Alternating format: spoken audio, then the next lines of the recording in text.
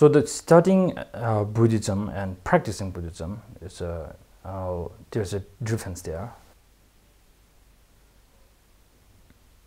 So studying is to uh, like seeing what is what is inside there, or is there something uh, that you need or not.